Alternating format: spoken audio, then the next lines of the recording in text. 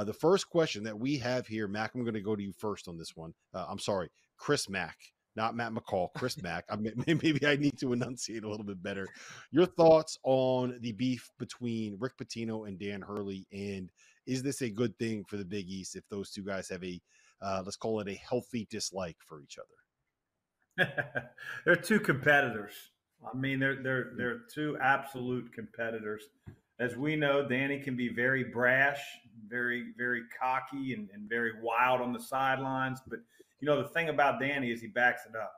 You know, and I think that obviously Coach Pitino has a uh, a story tradition of his own. He's got a couple national championships under his belt. Uh, you know, he, he's not going to play little brother to anybody, and so um, he's going to stick his chest out as well. And you know, he's in year one where, where, where Danny's been there for a bit and obviously has established his program, won the national championship last year. I think it's great for the Big East. I think it's going to put more eyes on uh, not only their game, but just the following of that league. Uh, to me, right now, it's the best league in basketball and has been for the last uh, couple years. So I think anytime you have guys like Rick Pitino, Danny Hurley, Shaka Smart, Sean Miller, um, you know, it's a it's a great coaches league right now, and uh, those two certainly add to the prestige of it. Yeah, McCall, your thoughts? Have you ever had a uh, press conference beef with any other coaches in a conference with you?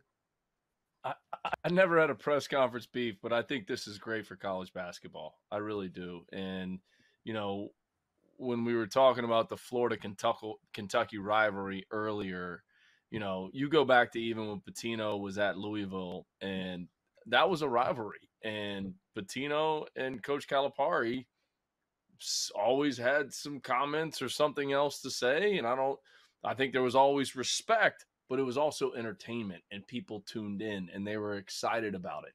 And now, here you you you knew when Coach Pitino joined the Big East when he took the St. John's job and Coach Hurley is at UConn. They're coming off a national championship.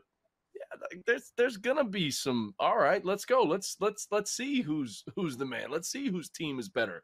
Let's see who, you know, who rises to the top. And I think it's I think it's entertaining, and I think it's it's good for college basketball. I don't see anything negative about it. They're both backing up their programs. They're both backing up their identity as head coaches and their teams and I think it's fun and people are talking about it. We're talking about it. So that means, mm-hmm. you know, it's it's entertaining and you know, when they line up and play again and I don't see how that game's going to be played in Carnesecca Arena. I know you guys talked about that the other night. I mean, I think there's going to be too many fans that want to tune into that game and you know, in the garden. I th- oh man, that's it'll be electric, but I, I don't think there's anything negative about it. I think it's it's entertainment and you got two you know, you got a Hall of Fame coach, a future Hall of Fame coach that are both supporting their programs and competing at a high, high level and two of the best in the game right now. I think it's I think it's good. Uh, yeah, I, I love when uh, coaches feel the need to get on the internet and take shots at each other.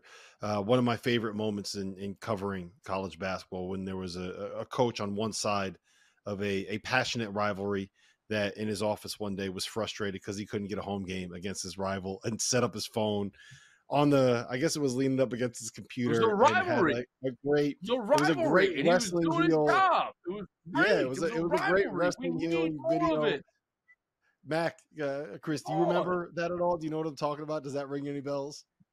Hell yeah, I remember that. You know what I mean? he wants to play that behind the scenes, you know, and try to uh, change our game time and all that bullshit. You know what I mean? I wasn't going to sit there and take it. And so I tried to figure out a creative way to, you know, sort of combat the issue. So, and we won that game. You should have seen the mentions I had after I made the video. Wait until the game's played. We won that game. So take that. And it was a rivalry and it was entertaining Coach, and people hey. listened and they paid attention to it. Steve Spurrier, Coach University Prosser. of Florida, Back in the day, yep. used to say you can't spell UT with, or you can't spell the Citrus Bowl without UT. Right? Coach Spur used to always say that, get fans fired up for the Florida Tennessee ride. Come on, it's good for the sport. Let's go. Yep. Coach Prosser always used to talk about a healthy hatred's never bad. You know, no so question. I think there's a little bit of a healthy hatred between Coach Pitino and Coach Hurley right now. Let, well, let's go, man. It's two two guys that are wired the same way that want to beat the hell out of each other is not a bad thing for the sport.